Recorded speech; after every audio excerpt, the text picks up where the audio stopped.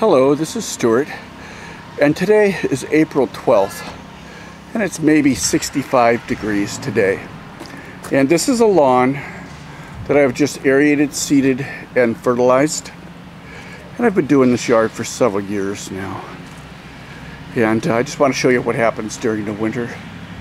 The evergreen trees have high acidity in the needles and they just kill the grass. And uh, I've been coming in here for a couple years. I typically aerate, seed, and fertilize this lawn spring and fall. And that's how he's able to keep the lawn that he has. It looks really beautiful after I get done. Today I've also added um, my lime.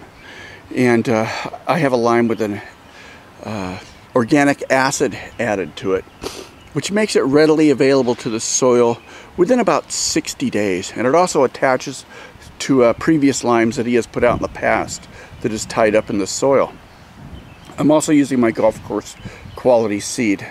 On this property he has paid extra, um, obviously for the lime and for a bunch of extra seed to be put out here because he's got a lot of bare soil. And I just wanted to show you this.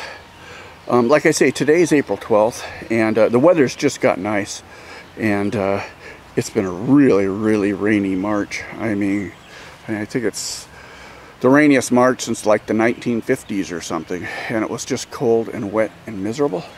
And the weather is just turning now. And I figured this would be the perfect time to show how a lawn tune-up works in spring. Timing is everything when you're seeding a lawn.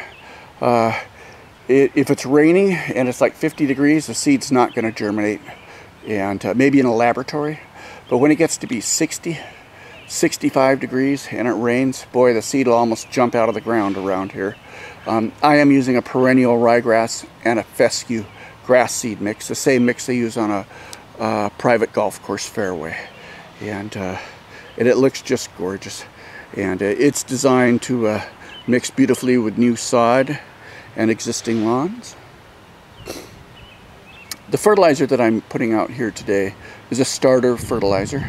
It is 60% slow release, does not stain cement, and uh, it's a very, very good product. I've been using this for many years. I buy it direct from the factory, and it's got a nutrient package added for Western Washington.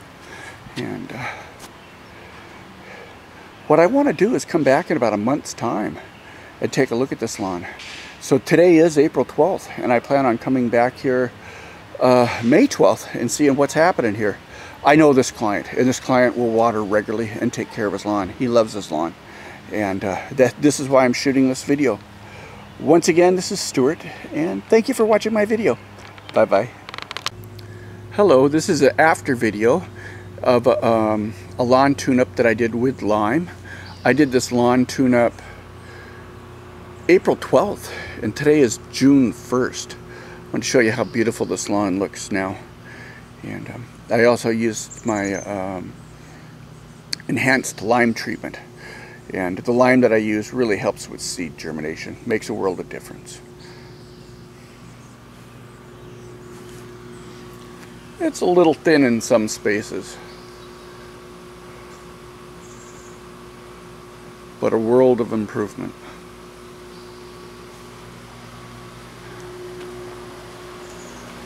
And this is my golf course quality seed. No fertilizer has been used on this property at all, and uh, other than the original fertilizer that I put on here, the starter fertilizer on April 12th. So this is it right here. And, uh, I wish every yard turned out like this. Once again, this is Stewart, and thank you for watching my video.